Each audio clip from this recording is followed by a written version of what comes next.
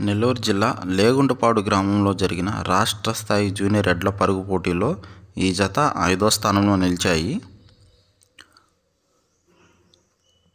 ఈ ఎడ్లు నెల్లూరు టౌన్ రంగనాయకులపేట చెందిన ఎడ్లండి ఇవి.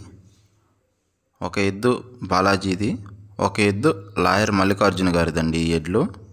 ఈ ఎడ్లు ఐదో స్థానంలో నిలిచాయి. నెల్లూరు జిల్లా లేగుంటపాడు గ్రామంలో రాష్ట్ర స్థాయి జూనియర్ ఎడ్ల పరుగు పోటీలో ఐదో స్థానంలో నిలిచిన ఎడ్ల జత ఇవి